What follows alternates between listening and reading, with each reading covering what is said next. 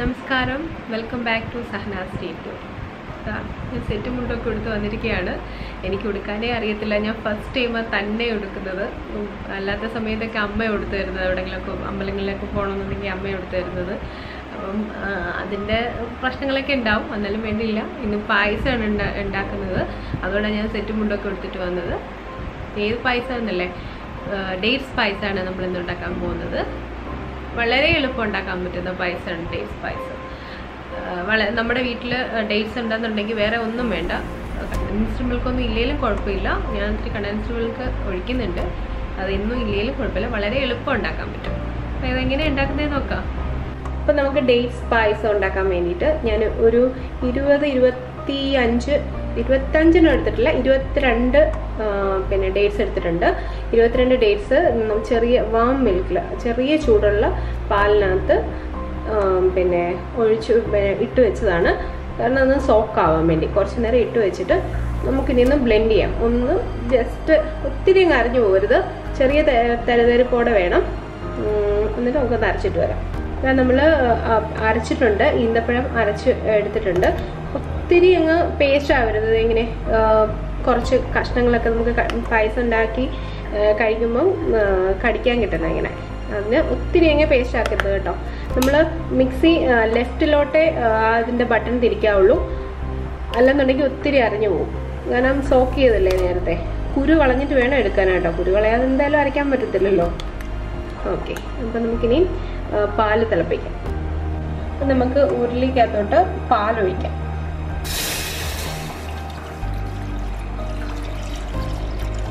ഒരു രണ്ട് കപ്പ് പാലുണ്ട് കേട്ടോ. രണ്ട് ഗ്ലാസ് പാൽ ഇനി ഒന്ന് ഒന്ന് തിളച്ച് വരട്ടെ ഞാൻ ത്രീ തിളപ്പിച്ചതായിരുന്നു. എന്നാലും ഇച്ചിരി കൂടെ ഒന്ന് ചൂടായി വരട്ടെ. ചെറുതായിട്ട് ചൂടാവും. ഒത്തിരി ചൂടാവരുത്. ചെറുതായിട്ടൊന്ന് ചൂടായി വരുമ്പോൾ നമുക്ക് ഡേറ്റ്സ് അതിനകത്തോട്ട് ആ ചെറുതായിട്ടൊന്ന് ചൂടായി വരുന്നുണ്ട്. നമുക്കിനി ഡേറ്റ്സ് ഇടാം.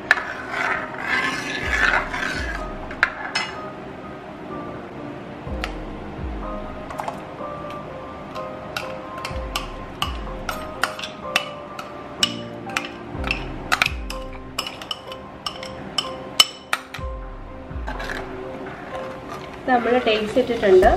ഇനി നന്നായിട്ടൊന്ന് മിക്സ് ആവണം. പായസത്തിന്റെ ആവത്തില്ല ചെറുതായിട്ടൊന്ന് കുറുകണം. എളുപ്പം വളരെ എളുപ്പം ഉണ്ടാക്കാവുന്ന പായസമാണ് ഡേറ്റ്സ് പായസം. എപ്പോഴും നമ്മൾ വർമ്മസലി സേമിയ പായസവും അല്ലെങ്കിൽ പാടപ്രഥമനും പാലടയും ഒക്കെയല്ലേ ഉണ്ടാക്കുന്നത് ചിക്കൻ പായസം ആയിക്കോട്ടെ എന്ന് വിചാരിച്ചു ഓണത്തിന് ഒന്ന് കുറുകണം. കുറച്ച് കുറുകണം. മധുരം ഉണ്ടോ എന്ന് നോക്കട്ടെ മധുരം ഇല്ലെന്നുണ്ടെങ്കിൽ മാത്രം കണ്ടൻസ്ഡ് മിൽക്ക് ചേർക്കാം ചേർത്താൽ മതി. കുറച്ച് മധുരം കുറവാണ്. മധുരം വേണമെന്നുണ്ടെങ്കിൽ മാത്രം ചേർത്താൽ മതി. ഇല്ലാത്തവർ ചേർക്കണ്ട. അതായത് ഡയബറ്റിക് പേഷ്യൻസ് ഒന്നും ഈ ഒരു പിന്നെ പായസത്തിന് പ്രത്യേകിച്ച് ഇനി മധുരം ചേർക്കേണ്ട കാര്യമില്ല. ഈ ഡേറ്റ്സിന്റെ ആ മധുരം മാത്രം മതിയാവും. നമ്മൾ പായസത്തിന് ഇപ്പം മധുരം ഇതിന് വേണം വേണം എന്നുള്ളവർ കുറച്ചുകൂടെ വേണം എന്നുള്ളവർക്ക് ചേർക്കാം.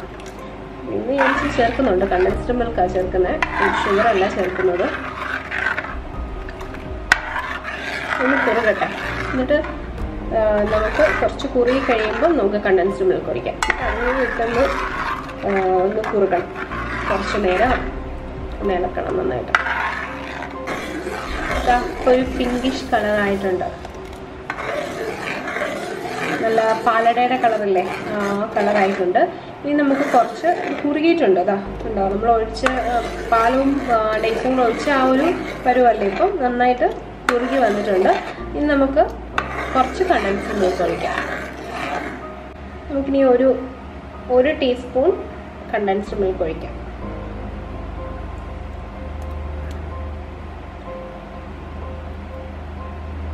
ചോക്കട്ടെ മധുരം എങ്ങനെയുണ്ടെന്ന് വേണമെങ്കിൽ ചേർക്കാം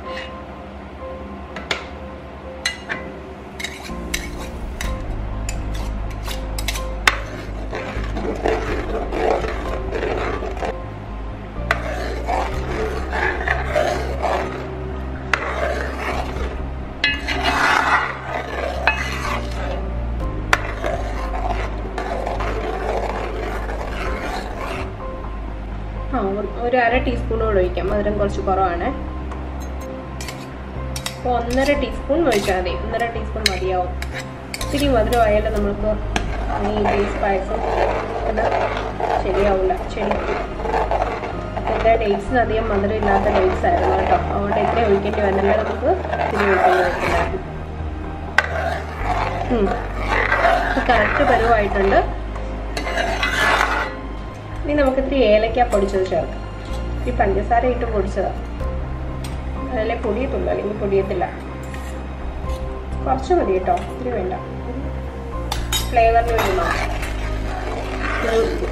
ആ പായസത്തിന്റെയൊക്കെ മണം നമുക്ക് ആ ഏലക്ക ഇടുമ്പോഴാണ് വരുന്നത്. ആഹാ. ഇപ്പോൾ പായസത്തിന് നല്ല മണം വരുന്നുണ്ട്. നമ്മുടെ പായസം റെഡി ആയിട്ടുണ്ട്. ഇനി നമുക്ക് ഇത്തിരി കാഷ്യൂവും കിസ്മിസും ബദാമും എല്ലാം കൂടെ ഒന്ന് പൊട്ടിച്ചിടാം നമുക്കിനി ഇത്തിരി നെയ്യ് ഒഴിച്ചിട്ട് കാഷ്യൂം കിസ്മിസും ഒക്കെ മൂപ്പിക്കാം. നെയ്യൊക്കെ ആവശ്യത്തിന് ഒഴിച്ചു.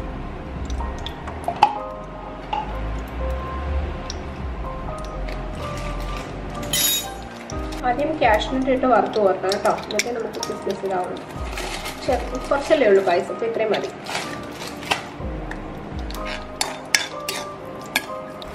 നമ്മുടെ ക്യാഷ്യൂ മൂത്തിട്ടുണ്ട്. നമുക്ക് കോരിയെടുക്കാം ഇനി ഞാൻ കുറച്ച് ബദാം എടുത്ത് വെച്ചിട്ടുണ്ട്. അതും സ്പ്ലിറ്റ് ചെയ്ത് എടുത്ത് വെച്ചേക്കും കേട്ടോ. രണ്ടായിട്ട് രണ്ട് മൂന്നായിട്ടൊക്കെ